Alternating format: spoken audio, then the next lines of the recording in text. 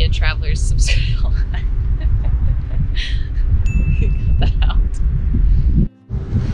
Hello, I'm Alex from Via Travelers, and today we went on a day trip from Amsterdam to Weesp. It's about a 20 minute train ride from the Amsterdam South Station, and it's a cute little historical town.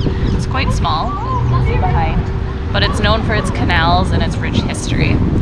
Back in the 17th century, this town was known actually going to be attending one later today that was, is now in a refurbished church. Then around the 18th century, it became a capital for porcelain, and then in the 19th century for chocolate. So there's quite a bit of history here to see, and it's supposed to be a lot like Amsterdam, but much quieter.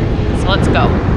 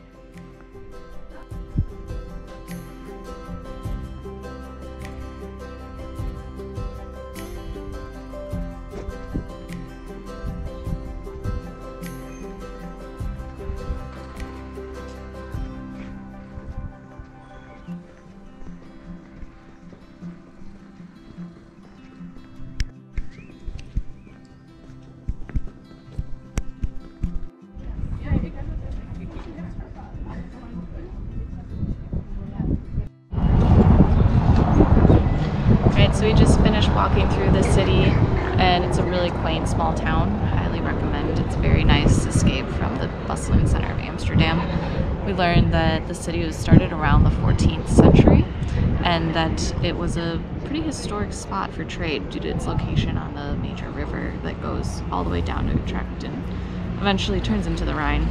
So behind me you can see the, the church back there. That's the one that has now become a brewery. The beers were quite nice, so it's definitely worth a stop in.